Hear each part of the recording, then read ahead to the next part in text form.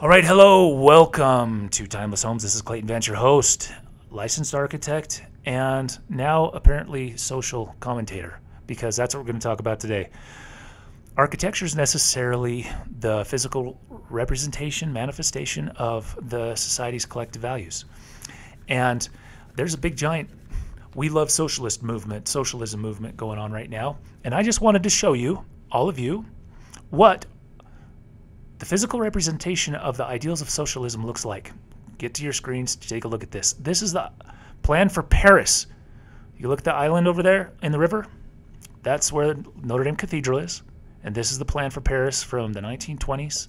Good old socialist ideal from Le Corbusier, an architect who uh, was one of the great founders of modernist architecture.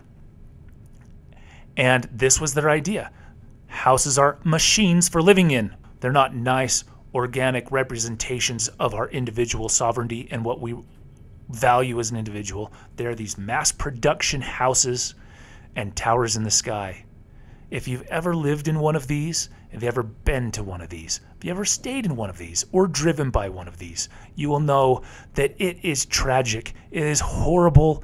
It is the worst imaginable living condition you could even think of. Is a 1950s giant apartment block tower from communist or socialist eras. Guys, if you think socialism is a good idea, this is the physical manifestation of those ideals. And it necessarily will manifest itself over time. It is a bad idea. Change your course before it's too late because we've already gone down this path before and it isn't pretty. That's all I've got for you today. This is Clayton Vance saying, see you later.